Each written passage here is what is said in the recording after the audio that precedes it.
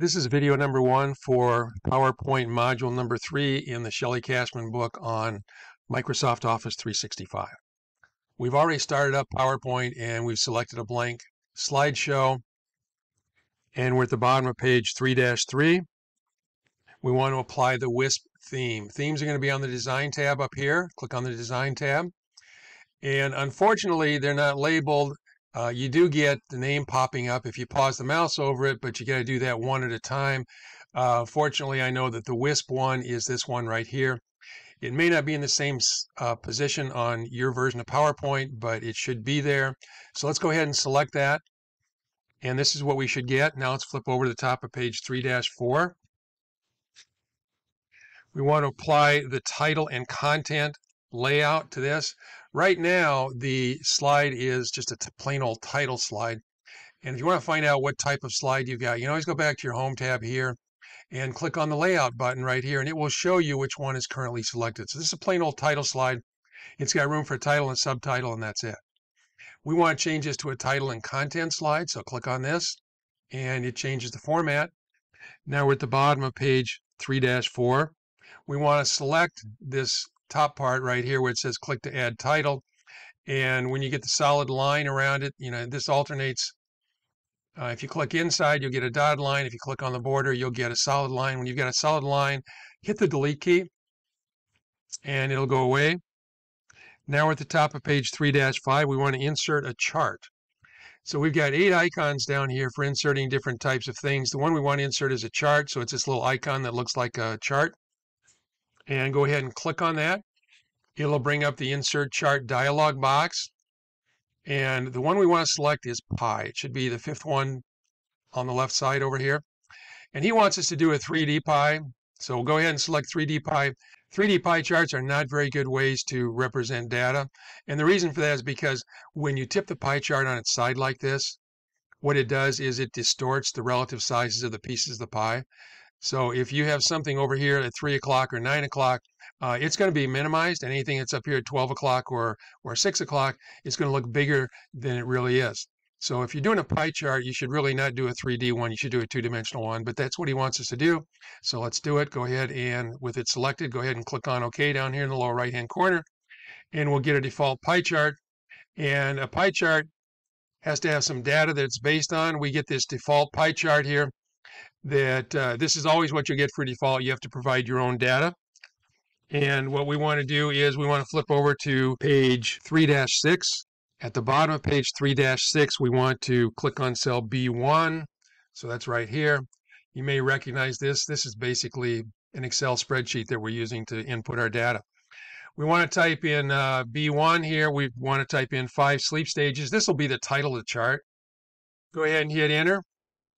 Then we're going to go to cell A2 and we're going to type over what is currently here. We're going to type in stage one, stage one, and then REM down in row six. We need to replace the numbers with our data up here. So go to B2. We're going to type in the following numbers 5, 50, 5, 15, 25. Flip over to page 3 8. We can go ahead and close the spreadsheet by clicking on the X up here in the upper right hand corner. And you see that our title has been put in from B1 and the labels we put in column A are down here and the corresponding numbers are represented by the slices of the pie up here. Okay, so now we're at the bottom of page 3-8 and we want to resize the chart. Uh, normally if you resize it, you're just going to grab the handles here and resize it until it looks good. But he wants us to set it to a specific size. So we're going to go up here. When a chart is selected, you'll get a chart design tab up here and a format tab up here. We want to go to the format tab in this case. Um, most of the time when you're dealing with chart design, I think you're going to be on this tab up here, not on the format tab. But to set the height, uh, we do have to go over here and use the format tab. So we want to set the height equal to 6.5. Go ahead and hit enter. For the width, we want to put 10.5. So just delete what's currently there. Hit enter. And it's not going to be centered. Uh, mine is off center a little bit, um, but we're going to fix that. We're going to go down to the bottom of page 3-9. With the chart selected and the Chart Tools Format tab displaying, click the Align button. So here's our Align button.